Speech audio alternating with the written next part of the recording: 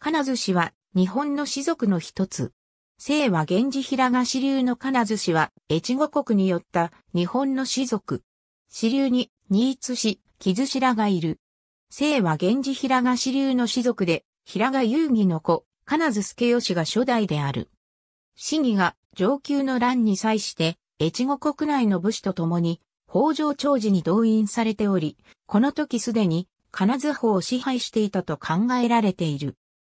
検事元年5月成立の六条八幡宮、造営注文写しには、金津倉人跡、道三郎跡とあり、経図産業には、四字家倉人、左衛門の城、木津東方、新志三郎、新越西方とあって、金津重直と金津信介の時に、倉人系と三郎系の二流に分流していたことがわかる。還元三年、金津クランド市政が上野国神殿省内米沢村名主職の領有を求めて鎌倉幕府へ掛物状を提出。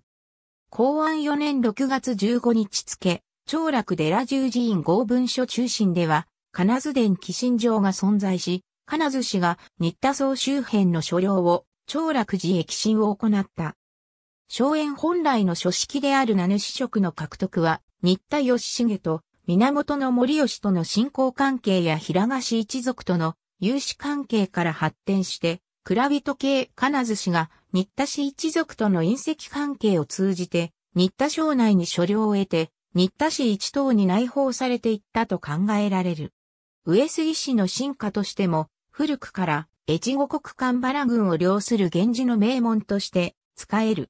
戦国時代には、金津義久、新津勝助らの活躍が見え、子孫には米沢藩に仕えたものが多い。ありがとうございます。